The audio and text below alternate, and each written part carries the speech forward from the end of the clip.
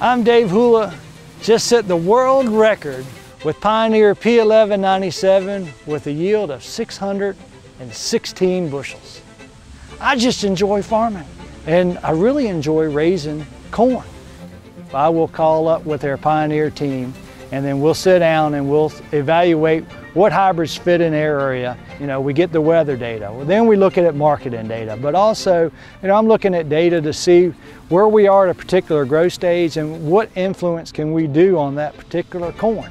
Every decision we make, we're kind of trying to filter out some data and that type of information is just helping us become more profitable to push our yields up from year in to year out. It's pioneers of corn growing like David that allow us to test our hybrids at the very high end of the yield spectrum. It's exciting to work with David because he's truly a master of his craft um, and he is so focused on every single detail to get to the, the end that he's achieved. Here we are on the north side of the banks of the James River. Captain John Smith floated his ship down this river back in 1607. So we know where we started from. Now, you know, where are we going to go?